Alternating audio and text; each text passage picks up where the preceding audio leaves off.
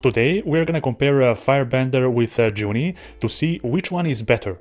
We're gonna explore uh, four different comparison categories, like uh, pricing, user experience, speed, and the code quality. So first, let's start with Junie. Junie offers uh, three packages or uh, pricing plans. The least expensive is 10 euros. Then we have a 30 euros and a 60. Junie also offers uh, annual plans, and for each and every plan, you're getting a bit of discount as well. Now, the Firebender on the other hand contains uh, much more uh, pricing plans actually and it uh, does offer a free tire for one week. That's one small advantage of uh, using the Firebender unlike the Junie. Other than that, we can see a, a package of uh, $30 uh, per month, we have a 75 and even a 150.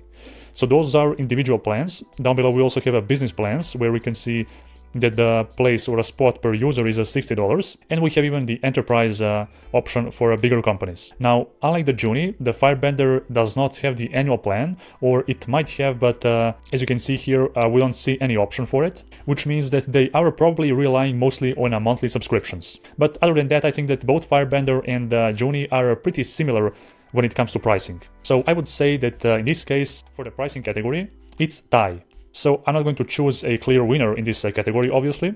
But nonetheless, uh, now we're going to test uh, other categories like the user experience, speed, and code quality. For that matter, I have prepared uh, a project of mine called uh, Swipeable. So this is the new library which I'm currently working on. I'm planning to publish it in a few days, and before that I need to uh, do some refactoring. For example, here we have a max drag distance parameter, which is a fixed value. So I want to remove this parameter and instead rely on the threshold parameter to decide the maximum drag distance, okay? Because it makes more sense. So I want to first start with the Junie and ask it to refactor my code. But before that, I also want to here uh, open up a, uh, a stopwatch so that we can see uh, which one is actually faster, okay? Okay, so here it is, and we are going to uh, trigger it as soon as we write our prompt. So I'm going to here just to reference this uh, code in Junie. So I'm first time using Junie, uh, by the way. I'm uh, mostly relying on a Firebender, and that's why I wanted to make the comparison here. Okay, so let's here right now. I want to remove this uh, parameter and instead rely on threshold uh, parameter to decide the maximum drag distance of my Swipeable component.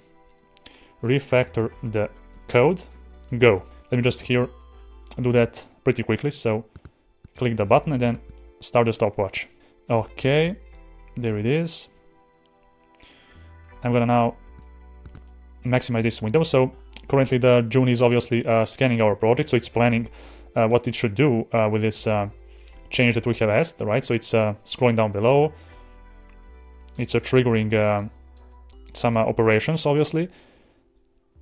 So we're gonna wait now and see uh, how long it will take for the for the Junie to actually complete this uh, test. So it's not a too complex task, uh, by the way, but nevertheless, uh, we just want to see uh, how long it will take for the Junie to to make it happen, right? And we're gonna, of course, uh, test this application after that and see if it will work the same way as it is working right now. So let me just here open up that Swipeable app. So as you can see, this is that kind of a component that we currently have. So that component has an option to track the progress and so on. Uh, we have some a bunch of different out-of-the-box animations along the way, uh, and it's really nice, uh, nice library. Okay, so it's now updating this progress. Let's see what is happening here. So in the code, I don't see any change yet.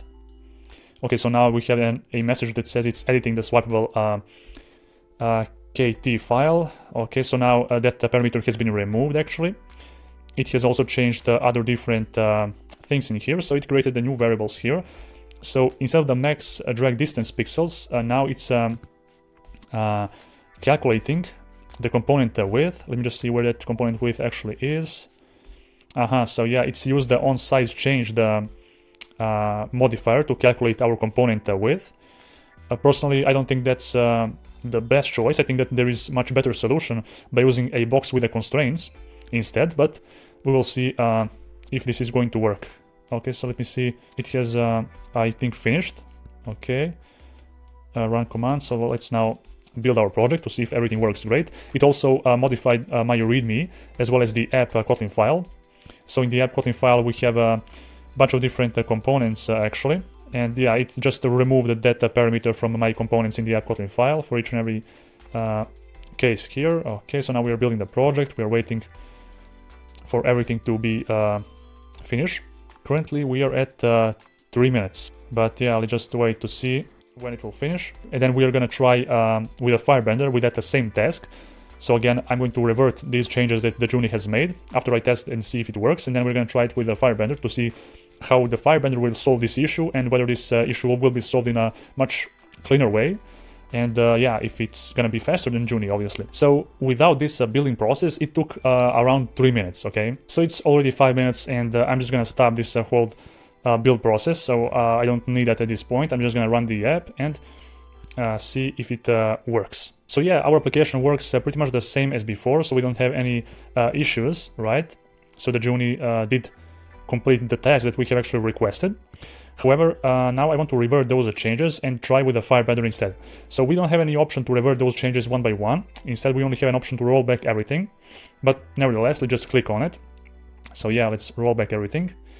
There it is. And I want to now try with the Firebender. So let's click or actually select this max uh, drag distance parameter. I'm going to just paste it right here. As you can see, unlike the Junie, when I paste the code uh, from my uh, Kotlin file in here, it will not bloat my whole chat. Instead, it will just um, display this uh, simple link that will point from that specific line of code or from the start of the block to the end of the block, which is much more cleaner way. And even if I have hundreds of uh, code lines right here, it will not bloat my chat. It will make it more cleaner.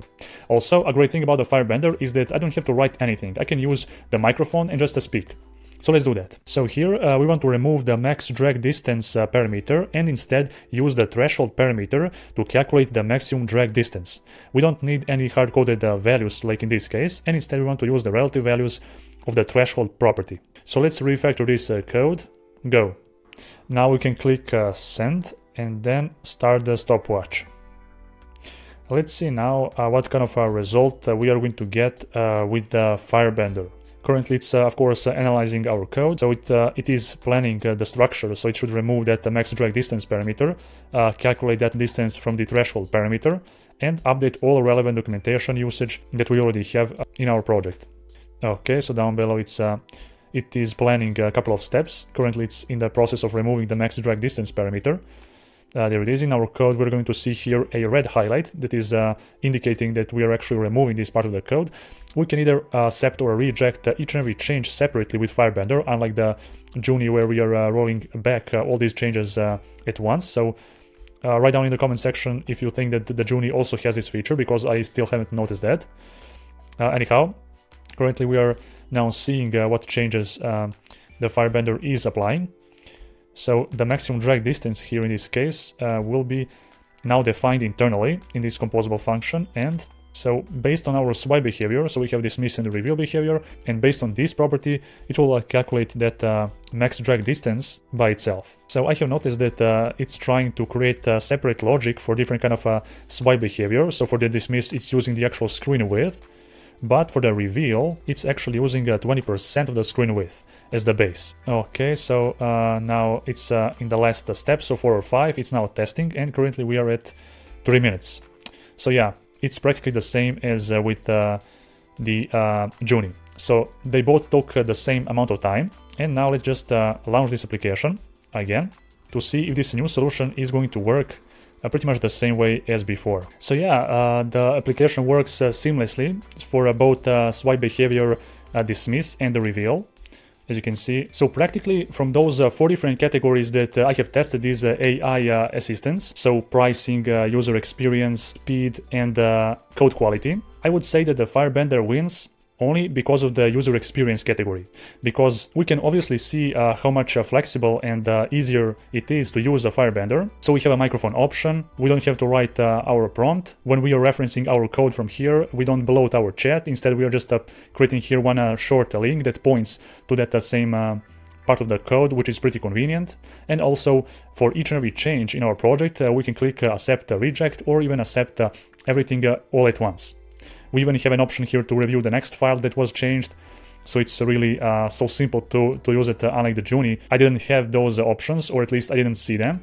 Since this is the first time uh, using Junie, I've only noticed that I can roll back all the changes at once, but not uh, individually one by one. So let me know your thoughts in the comment section down below if I have missed uh, something about uh, Junie. But bottom line, I think that uh, both of these uh, AI assistants are really helpful, so they can save you a ton of time. They are indeed helpful and both of them provide a really good solutions. In the past few months I have used the AI assistant extensively and to be honest when it came to implementing some kind of a feature that required a lot of work, like for example a week of work, uh, using the AI I was able to implement the feature in a single day instead of seven days, right? So, so the difference is drastic. And uh, if you're not using the AI assistant in your uh, everyday workflow, then you are missing a lot. And that's a fact. So whether it's Junie or a Firebender, you should pick one that you think is best for you and start using it. Because otherwise, you're gonna be left behind. So that's it, uh, this was a, quick comparison between a Junie and a Firebender. Let me know your thoughts in the comment section down below if you have something to add uh, to this little experiment that uh, I have just created. And of course, don't forget to leave a like to this video if you want to see some more interesting content like this one. Thank you for watching.